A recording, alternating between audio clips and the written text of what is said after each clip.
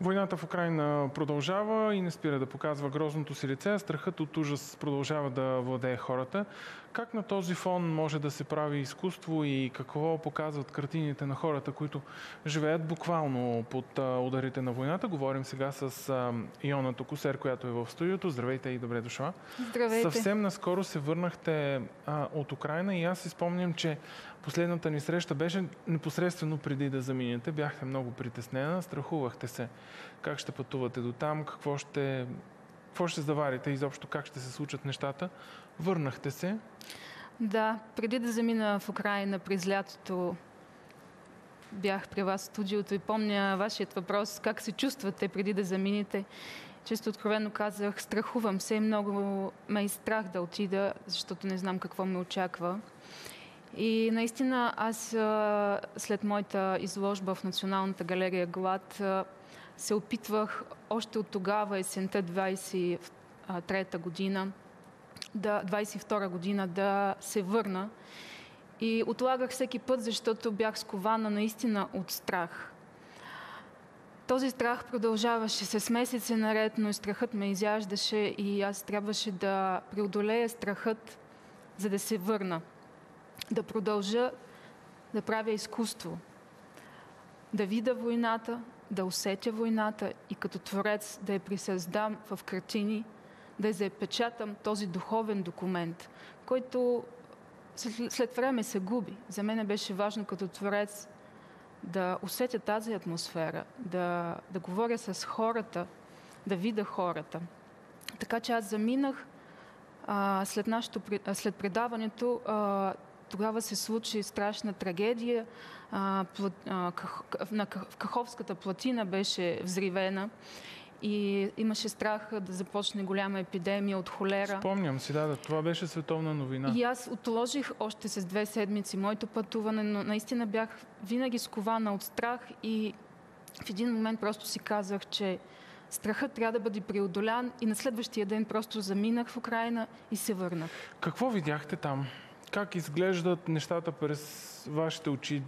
Ние имаме възможност през световния обмен да виждаме картини, виждаме какво става в социалните мрежи, но през вашите очи как изглежда това? А, тревогата е много силна. А, всеки, всеки ден, особено всяка нощ, след полунощ започваха тревоги, въздушните аларма на въздушна тревога, която практически всяка нощ беше до сутрин и това са безсънни нощи. А, децата, които ходят на училище, това не беше извинение, цяла нощ те се криеха в бомбоубежище. Те трябваше сутрин а, да отидат на училище в 8 часа. А, хората трябваше да станат сутрин и да отидат на работа. Тоест живота а, не спираше, независимо, че цяла нощ хората бяха в притеснение и се крияха от а, атаки и от възможни атаки, защото никога не знаеш. В кой момент? В кой момент това може да ти бъде и последният момент. Така че всяка нощ това е стрес и тревога, дали ти ще оцелеш или не. Но живота продължава. Независимо а, какво се случва, хората продължаваха и през деня живота беше а, сякаш нищо няма, но дори през деня да има въздушна атака, хората, това, което видях най- най-важното, че те не спираха да живеят и важното, че независимо какво се случва, ние напук ще живеем. А, в кои райони всъщност бяхте вие и а, казвате, хората не са загубили надежда, че ще живеят напук на войната, но въпреки това, тяхното ежедневие как изглеждаше в районите, в които вие бяхте? Аз бях в Одеска област, бях в град Болград, където се срещнах и очаквах много години среща с една възрастна жена, която разказваше за това, че работила в военна част през 20 век и тя е възрастна и държала в ръцете си списъци на осъдени за човекоядство през 46-47 година, да, след, а, по времето на третия гладомор. И аз се върнах, разговарях с тази възрастна жена а, и тя, знаете ли, от първия ден на войната се се организирали възрастни българи и украинци, независимо, нали, град Болград, а, пенсионери, да спомагат украинската армия. Те плетяха мрежи. И а, вече две години те всеки ден се събират и плитат мрежи безвъзмезно. И тя казва, че ние каквото можем помагаме. Тоест аз видях в Украина народа сплотен и а, всеки както може а, допринася с нещо или просто работейки живейки, както ви казах, независимо какво се случва и не губейки надеждата.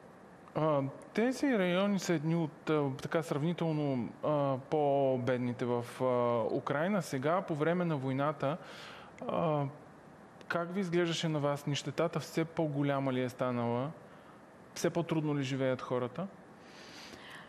А, да, аз също посетих и град Одеса, а, тъй като картините, които направих по време на войната, за сега ги докарах в България, трябваше да взема документи разрешително за митницата.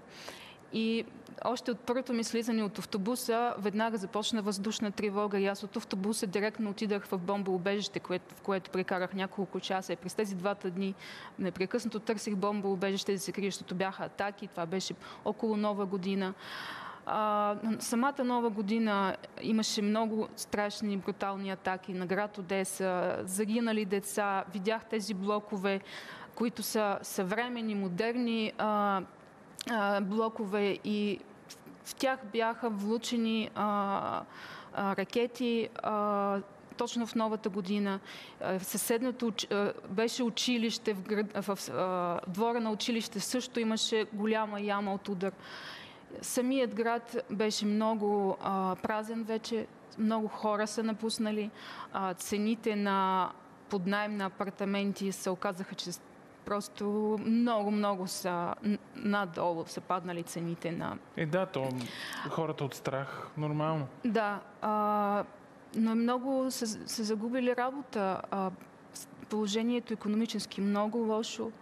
А, вече януари месец, както разбрах, много държавни служители вече нямаха заплата и така от новините разбрах, че Япония дава помощ и всъщност всичката тази помощ отива вече за заплата на за тези хора. Да, учители. Как нали... пътувахте обратно към България?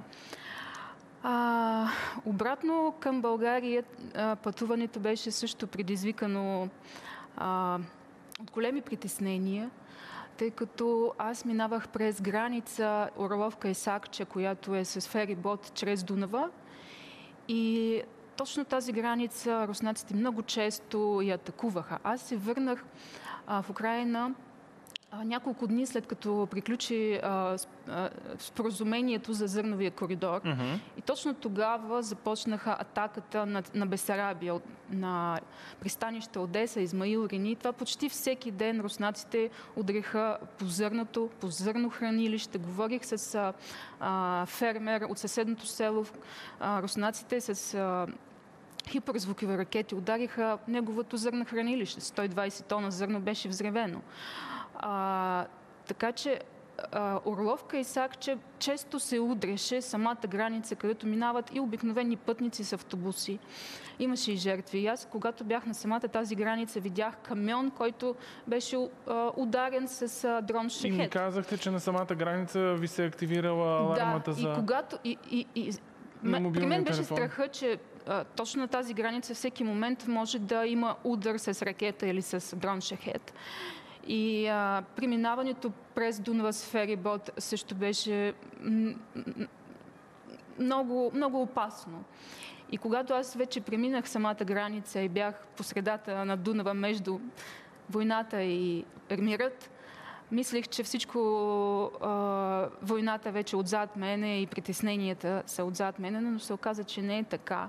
На самата румънска граница митничарите а, почнаха да искат документи, които аз съм подготвила, но изискваха някакви документи още повече. Когато видяха какви големи картини носи и те си казаха, това сигурно картини са за милиони и изискваха от мен такива Разбирам документи, какво които, ми казвате, да. които дори не нямаше да как го, да предоставя. Да, дори не искам да го обсъждам. И ме, ме държаха а, до вечер, а, до вечерта там. А, като ми казаха връщай се обратно в Украина и прави тези документи. А докато говорех с метничара в джоба ми, алармата за въздушна тревога почна да пищи и аз му казах, не мога да се върна точно в момента, защото има въздушна тревога и гледам на телефона, че руснаци са дигнали бомбардировчик. Викам, къде е? Как Да, мога да е знам, че в момента мислене. няма да ме Да ударят? кажем няколко изречения за изложбата в Брюксел, която ви предстои съвсем наскоро, в която ще има и 6 нови картини, нали така, освен тези, които бяха тук в София. Да, а, аз съм в момента а, на път за Брюксел. А, пристигнах в София с 6 големи платна, които създадах за глада 46-47 в Бесарабия по реални истории, които съм ги събрала. Тези 6 големи платна пътуват в момента за Брюксел и вторник се открива изложба Глад в Европейският парламент от българския евродепутат Андрей Ковачев, заедно с представителството на Украина в Европейския съюз. Към кого е насочена тази изложба и какво послание отправя тя? А, изложбата е посветена на 90 години от трагедията за Гладомора. Гладомор.